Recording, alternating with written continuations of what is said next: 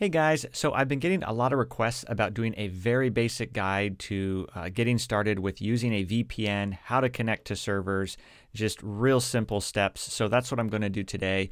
And I'm going to start out with Express. It's my favorite VPN I like to use. I think it's the best you can get um, in terms of just the best VPN, but also for newbies. It's very newbie friendly, and I'll put a link to it down uh, in the description. But I'll also show you with Nord and Surfshark. Those are a couple other really great VPNs, and I'll kind of explain some of the differences uh, in the end um, between those if you're trying still to decide on a good VPN. But these principles will work uh, for pretty much any VPN, and that's why I'll show you with Express and Nord as well. So first, let me just show you with Express how this works. Um, again, on a, I'm showing you on a Mac, but um, the same idea with a with a PC. You'll just want to load, uh, click on your um, your application uh, here in Mac. Uh, I have it here. Otherwise, you can go into your application folder and open it that way. But I'm going to go ahead and click on it and it opens right there. Now, just because I opened it, it doesn't mean it's connected. Um, see how it says not connected? That means my VPN is not yet uh, turned on. It's not yet offering any protection and so forth. So in order to do that, um, I'll just want to click this button. You can see when I hover over it, it starts to even change color a little bit. So let me just show you how that works. We're just going to click the button and you can see it's going to start connecting. Now it's connected. So now I'm protected by this VPN. And it's uh, as simple as that. Now, now I'm going to go into, okay, what exactly happened? What did we connect to? And how do we make those changes? And then again, I'll show you with a couple other VPNs just so you can see um, how, how this works and how it's very similar uh, across the board. So uh, let me go ahead and I'm going to disconnect here just by pushing that button. So again, now we see we're not connected. So when you open up something like Express, Express is great because it has things, uh, uh, some features called uh, like a smart location, um, which means it's going to pick the best location for you um, if you'd like. Uh, you, you have the option of saying, basically you're telling ExpressVPN, you know what, I'm not sure, I'm kind of new to VPNs, uh, or I just want the convenience of you picking for me. So that's what this is for here. And not all VPNs have this feature. Again, that's what's uh, one of the things I love about Express and makes it great for, for newbies. So you just click this button. And now it's connecting to the smart location, uh, which is Seattle. So I'm actually located in Oregon. And so it's choosing the best server um, that, ex- that, that ExpressVPN can find that's nearest to me, that's going to give me the best speed and, and, and protection and so forth. So that's where it chose Seattle. So let me go ahead now. I'm basically I'm connected uh, to the server in Seattle, which means when I'm browsing around online, uh, the online world is going to think I'm in Seattle, even though I'm actually physically in Oregon. So I'm going to go ahead and disconnect from this again.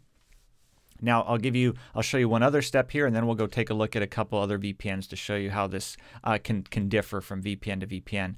Um, so the um, we're using the smart location here, but let's say I want to choose, uh, which is which is taking me to Seattle. But let's say I want to try connecting to something in California. Uh, so I'm going to click, come over here, and I'm clicking on these three little little dots, and now I have all these uh, regions here on the right. So I want to, I can just search for it up here and you know type in type in a, a city um, like let's say I wanted to type in Los Angeles. And you can see uh, Los Angeles uh, options are, are showing up there. But let's say I'm not sure which city I want in California.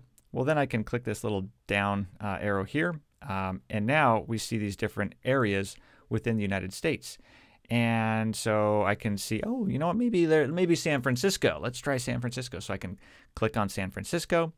And now uh, that has been my new uh, selected location. So when I click the connect button, it's going to now connect me to San Francisco. So now when I am browsing around online, the online world thinks I am uh, actually in, it thinks I'm physically in San Francisco even though I'm actually in Oregon. Um, so it's connecting to the ExpressVPN in, in San Francisco. So let me go ahead and disconnect again. And uh, let me go ahead and actually quit this. So I'm done using I'm done using the VPN. I'm just going to disconnect and I'm going to quit that altogether. And then we're just going to load it up again here. And so you can see it's bringing up that most recent location I used, uh, which was San Francisco. Um, but it also sees that a, re a, recent location I connected to was, was Los Angeles. So you can click uh, on that, and now it'll connect me to Los Angeles. So you can kind of think of these as quick connect features just to make it a little more convenient for you.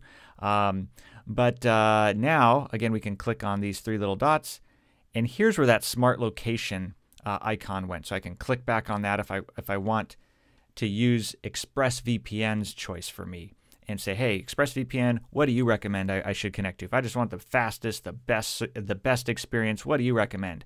That's what this smart location is, and I can just click on that. Um, okay, now it's saying your internet traffic may be unsecure during reconnection. So this is good to know.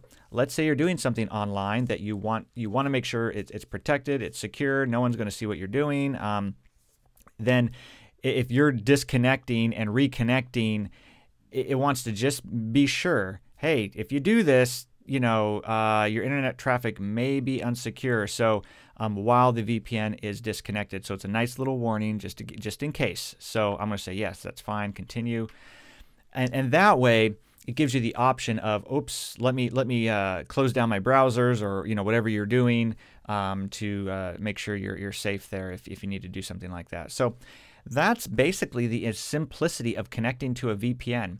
Now, one other thing I'll say about that, uh, sometimes people wonder, so does it matter what server you connect to? Are some servers like more more protective than others? Do you want to try to look like you're further away? In terms of just the basic use of a VPN, uh, really just connecting to the server that's closest to you is generally the best because it's going to give you the fastest speeds. Um, as far as from a safety encryption standpoint, that doesn't make uh, a difference. Um, so just just know that.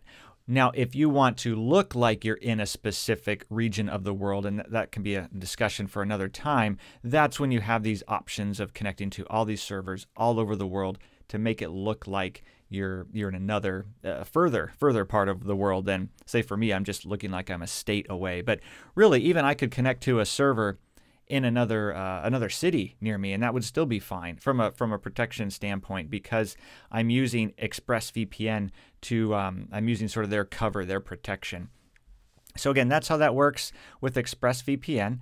And of course, if you have any other questions, let me know down in the description below. Uh, otherwise, I just want to pop open uh, NordVPN here just to show you how this works. Um, so NordVPN, again, I'll put a link to uh, Nord down in the description as well um, if you're interested in, in learning more about Nord. But they have, just like Express, they're another premium VPN. You can use the Quick Connect feature here, which basically is like Nord take all the thinking for this, uh, do all the thinking for me, and uh, uh, go ahead and choose the best server. Um, I want to leave that up to you. So you can just click Quick Connect, and it's going to connect me. It looks like to a server um, uh, here in the in the Midwest. Um, and so now I'm connected. So you can see up here, it's protected. Now this is one thing. See already, if you notice the difference between Nord and Express, to me, it's a little more obvious. Here, I'll bring up uh, Express so you can see the difference. It's a little more obvious the way Express, you know, they got the big button when you're connected. It it's a little more ob. Whoops, sorry, it's it's con. Sorry, it was con- I was confusing it there. Um, once you connect, uh, again for a newbie, I think it's a little more obvious. With Nord, it's not so obvious. It's not that you're not protected. Uh, it just um, you know, like I said, you get this little green at the little writing, and again, not a big deal. But if you're brand new and, and you you just like you know that interface of, of Express uh, VPN a little bit, I find it's a little more. Um, it's a little better suited to newbies, to people who are less tech savvy and just want something very simple and easy to understand. That certainly is one of the benefits of, of, of ExpressVPN. Now, otherwise, with Nord, you can, just like with Express, you can go in and select a server from any of their regions uh, and areas around the world as well. Um, so just like with the United States, we can go in here and you know choose another region and, and so forth. Um, so let me show you one other one, and that is going to be with Surfshark. So let me go ahead and uh, we're going to disconnect from Nord. Surfshark is is like the best budget VPN. It's great. Um, it's uh, uh, gives you gives you the option of here you can see you have fastest server, and nearest country, which, you know, maybe that, that might be helpful for your situation. But generally, um, fastest server is the one you're going to want to uh, uh, click if you just want to keep it easy, um, take all the thinking out of it. Uh, just like with Express, you can use the um, smart location. With Nord, it's the quick connect. And with Surfshark, you can just use fastest server, uh, will be a great one. And so if I just press that, it's going to go ahead and connect me to the fastest server, uh, which is actually here in Oregon, which is a benefit to me. So now I'm going to disconnect. And um, again, it's already brought up. When I click connect, that's going to be my fastest server. Now let me go ahead and close down Surfshark again and actually uh, open it up. So make sure I'm completely out of it, bring it back in. Okay, so just again to show you what this looks like, when you just come into it, you can basically just click this button that will connect you. Um, and we can see it's connecting. And now we're connected. So again, pretty. I think it's pretty good. I think uh, Surfshark is kind of in between Express and Nord as far as from a from a um, uh, from a newbie standpoint for beginners. Uh, I think Express does the best at being very simple, very uncluttered. Just give you the the, the basics here. And, and, make it really obvious when you're connected, not connected. Surfshark also does a very good job, but um, I can see where the interface might be. You know, you kind of have to look around, and it might be a little confusing. You know, which one do I if, if you're brand new? So again, that's why I wanted to uh, explain that. And then the last thing, again, you can pick your your areas, your regions down here, just like with the other VPNs. Um, what's kind of cool about Surfshark is they they kind of show you the server load with these little circles and how full they are. So if you have the option of choosing one that's uh, less full, like this one's more full, so this one would be less full, that would be a better one. This one's empty, so that would be a, a better one as well. That's something you can keep in mind. But again, uh, this is just a very quick um, and basic guide to kind of getting started and getting connected to a VPN. As you can see, these all have this similar principle and idea. Now, something to keep in mind, not all VPNs have a quick connect feature. Um, that's something I like about all three of these and why I like recommending them and why they're so great for, for newbies and beginners is it takes all the thinking out of it. You can just trust these VPNs to pick the best server for you. So, um, how do you know which one to get if you're brand new to VPNs and you're thinking of getting one? Well, if you want the very best, I'd go with Express. Uh, it gives you the fastest speeds, it's the easiest to use, it's the most reliable. Um, it's been proven to not uh, keep any of your logs or activities. Uh, so, excellent, excellent VPN. Um, and then if you want kind of the best value, um, I think Nord's a great pick. It doesn't. It, it's less expensive than ExpressVPN. Some of the trade-off, uh, it's not quite as uh, premium, you could say, of a VPN as as Express. Um, so you're, you're missing out on some of the the features um, and, and, so forth um, compared to ExpressVPN. But for someone who's looking for just that that sweet spot of, of excellent value, it's still getting all the um, the best protection and so forth. Nord's a great choice. Um, and then finally, I'd go with uh, Surfshark if you're, you know, looking for the best budget pick. Let's say you're not doing maybe a lot of streaming or torrenting or downloading. Um, not that you you can use Surfshark for that, but if that's if you're doing a lot of that, you might prefer the speeds of Nord and and and Express, so that you're not waiting for your downloads, or if you're trying to unblock Netflix libraries. Again, Surfshark will do that, but sometimes the speeds can be a little um, more unpredictable compared to uh, Nord and, and Express. Express is going to be the most reliable in regards to this. Uh, Nord is very good, but uh, overall, Express is going to be faster across uh, all the different uh, regions, except for in European regions, Nord will be um, uh, can outperform Express, especially in like Italy, um, New Zealand servers. Uh, Nord also uh, does a little bit better there, typically compared to Express. So there are some kind of caveats to that where Nord will, will outdo Express in speed. But um, another neat thing about Surfshark is it gives you unlimited device connections. That means you can connect to as many devices as you want, um, and it, it doesn't cost anything extra, which is amazing. So if you have a you know larger family, larger household, uh, that's a great way to go. Nord lets you connect to six devices simultaneously, and Express allows you to connect to five devices simultaneously. So if you need a lot of devices, you would uh, and you're with Express or Nord, you'd either need to get another subscription or just you know limit the amount of devices that are using it at one time um, or that's where again surfshark could be a, a great option. And maybe you're just you're the trade-off is you're not going to have as fast as speeds and, and so forth. Um, But again, I'll put links to all three of these down below, along with any of the best deals or discounts I can get for you guys, including some free months um, that aren't available on their website when you typically go there to sign up. So feel free to take advantage of that if you like.